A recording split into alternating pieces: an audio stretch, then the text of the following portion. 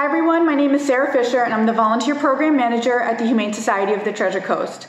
I've had a lot of people reaching out to me seeing how they can get involved in our shelter and unfortunately we had to postpone all of our volunteer orientations until further notice. So I wanted to create a quick video for you to show you how you can still get involved at home and also earn volunteer hours. This is perfect for families that need to stay home, work from home, and have kids at home. This is gonna keep your kids very occupied and you can also get a jump start on their hours for school.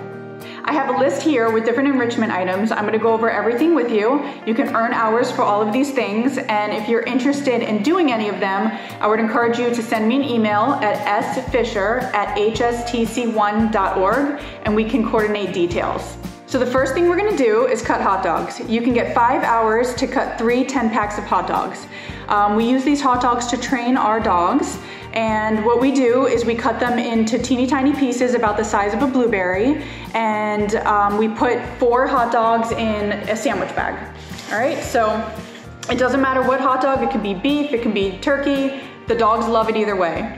So we have our hot dog and you can use a knife or um, scissors and what we'll do, we'll just cut into fourths. So the hot dog's are gonna be about this size, okay? And you're gonna do four hot dogs, four cut up hot dogs per sandwich bag, all right? Then you can go ahead and freeze it and we can never have enough hot dogs. We have freezers and fridges, so five hours for three 10 packs of hot dogs. All right, next up we have ice trays. We'll give you one hour per two ice trays that you make.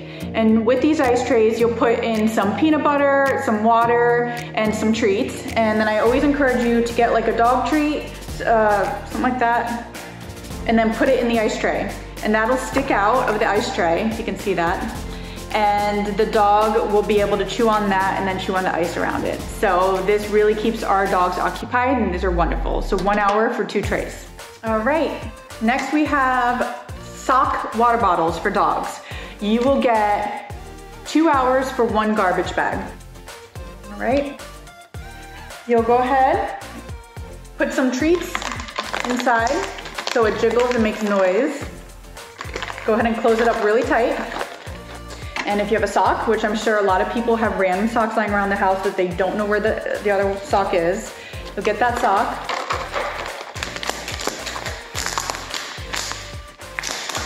You'll put the water bottle inside the sock like this. Go ahead and tie it real tight.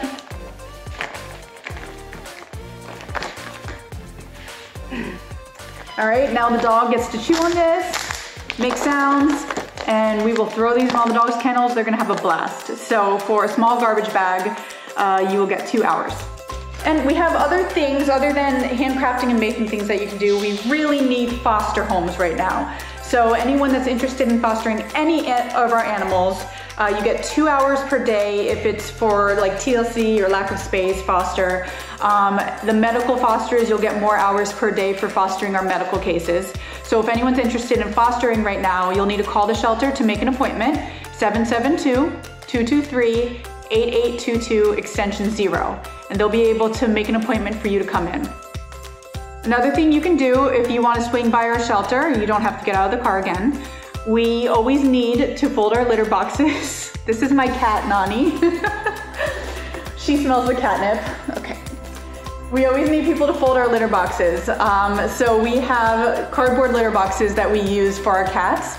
Um, and for one garbage bag, you get one hour of, um, of volunteer hours for, for our litter boxes. She's distracting me, I'm sorry.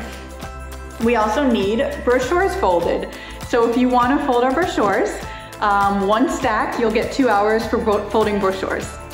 All right, so that's about it. Um, please feel free to email me at sfisher at hstc1.org and I will coordinate things with you.